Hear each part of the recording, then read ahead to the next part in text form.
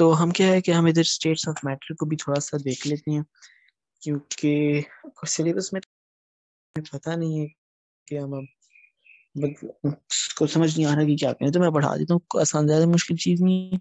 पता है आपको ऑलरेडी स्टेट्स ऑफ़ मैटर तीन होते हैं solid liquid gas solids definite shape definite volume वही सारे सारे के सारे ओ लेवल के पॉइंट्स हैं। देख लेते हैं एक दफ़ा। और सॉलिड्स के बाद डेफिनेट शेप है डेफिनेट वॉल्यूम है। Forces of attraction between particles when they are strong particles vibrate about fixed position they are closely packed due to which solids have high densities can be compressed not flow liquid जो है they have no fixed shape no fixed volume होता है force of attraction is strong और density जो solid से कम है slightly compressible है गैसेस जो हैं they are easily compressible forces of attraction between particles जो हैं वीक हैं पार्टिकल्स जो होती हैं दे रैंडम मोशन और no fix volume no fix shape ये आप देख सकते हैं आपके पास अच्छा ये कूलर में किसी के सॉलिड से लिक्विड लिक्विड से गैस जाना हो तो आप एनर्जी को ऐड करते जाएँगे बढ़ाते जाएँगे। गैस से लिक्विड लिक्विड से सॉलिड जाना हो तो एनर्जी मूव कर दो।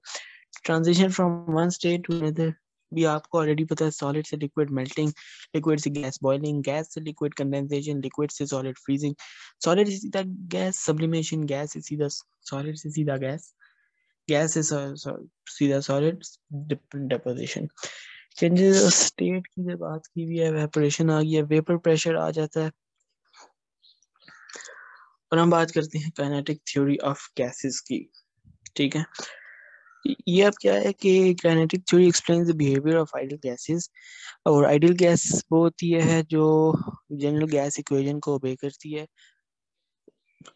Obeys general gas equation ideal gas and kinetic theory of gases according to this theory यही कहती है कि volume of gas molecules is negligible compare to the volume of this vessel of the vessel or molecules have mass but negligible size, or intermolecular distances are much greater than molecular size yeah most of the volume of gas is empty space, ठीक है?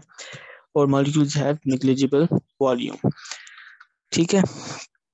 Non ideal behaviour ये दिया हुआ है इधर। आप देखें helium gas है नियॉन गैस है प्रेशर हीलियम का two atmosphere five metre cube और नियॉन का इतना दिया तो हमने गैस इक्वेशन का के दोनों के प्रेशर निकाल लिया प्रेशर टोटल प्रेशर 3.6 हमने फाइन कर लिया इंटरमोलिकुलर फोर्सेस की बात करें तो वॉल्यूम आप कम करेंगे तो पी वी पीवी भी कम करेंगे। और मोलिकुलर साइज़ की बात कर होंगे तो वॉल्यूम बढ़ा देंगे और पीवी भी बढ़ा देंगे। ये ग्राफ बना हुआ है। आप देख सकते हैं कि इधर ये आईएमएफ है। ये आईएमएफ आईएमएफ नहीं है जो पैसे देता है, ये इंटर मोलिकुलर फोर्सेज हैं। पीवीपी का ग्राफ है और इधर ये बताया हुआ है इस जगह पर कि at low pressure gas behaves ideally ideally ठीक है।